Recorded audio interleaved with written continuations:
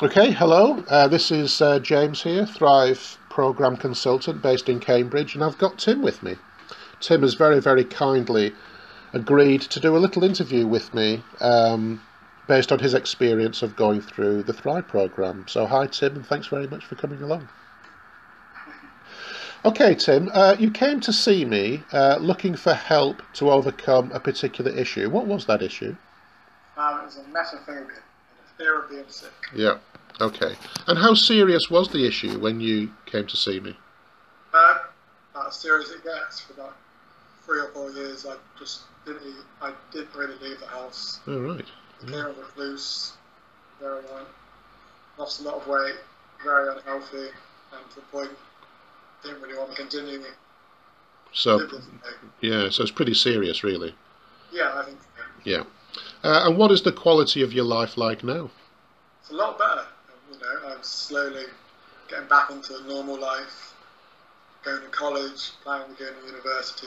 Yeah. all these things that I was going to do three or four years ago, but got pushed back. But now happening, and it's all moving forward. Yeah.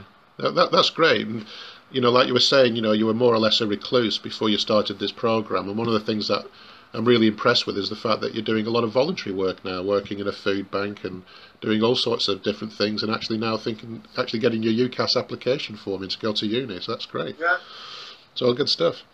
Uh, so, what did you learn in particular from doing the program with me? I think that I can, you know, I can manage my thinking. That the phobia didn't just happen to me. I created it. I was maintaining it by doing safety of these and actually once you stop doing that, once you stop doing unhealthy styles, it just goes.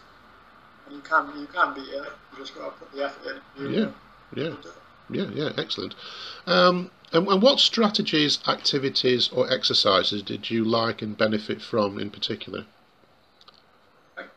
definitely progressing the positives. Mm. You know, I did find it quite hard at the beginning to actually just think of stuff to do, but the more you do it, the easier it becomes, and then it's hard not to feel good when you're constantly writing down or going over all the good things that happened the last couple of weeks. Yes, yeah, And though I don't do it five or six times a day now, I do a little journal at the end of each day and in the morning, just write down the good things that have happened the last day and what I'm grateful for. And Yeah. That's quite quite powerful to do and it makes you feel good to Yeah. start the day off. excellent, excellent.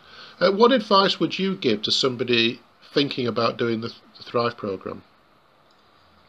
Just to go go for it. Completely like go full on. Don't half heartedly do it because you won't benefit as much if you, you know, do the work each and every day. It doesn't have to be a lot.